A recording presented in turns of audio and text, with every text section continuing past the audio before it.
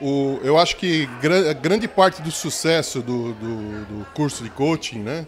E assim, é, e, além, além do conteúdo que é extremamente interessante, que faz ele tornar mais interessante ainda e, e passa um maior grau de credibilidade é justamente a forma com que o Sullivan é,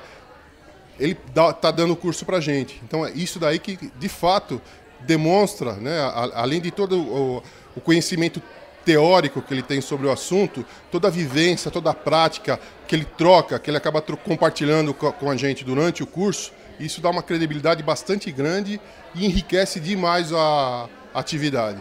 Coach, para mim, é, era uma coisa nova, era uma, era, um, era uma coisa que eu desconhecia plenamente do, do que se tratava, né?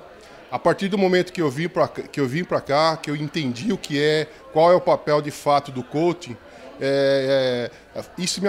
assim, vou, confesso que me atraiu bastante. Era uma coisa que eu imaginava que era uma coisa interessante, uma coisa importante, uma coisa legal, porém eu não, eu não imaginava que é da forma que está sendo. É, o primeiro, o primeiro contato, acho que de uma forma geral, foi através de, de, de, de, de eventos na área de recursos humanos, que é a área que eu atuo, né? É uma, é uma coisa assim recente, até certo ponto recente em termos de, de penetração na área de recursos humanos, mas é, uma, é algo que, como trabalha muito a questão da pessoa, e hoje, né, nessa, no, no, no, no mundo corporativo hoje, a questão da pessoa é a, é a, coisa mais importante, é o fator mais importante, desenvolvimento das pessoas, o coaching é uma ferramenta, é uma metodologia que está diretamente alinhada com isso. Então foi na busca dessas ferramentas que eu acabei, que eu acabei chegando até o, até o coaching.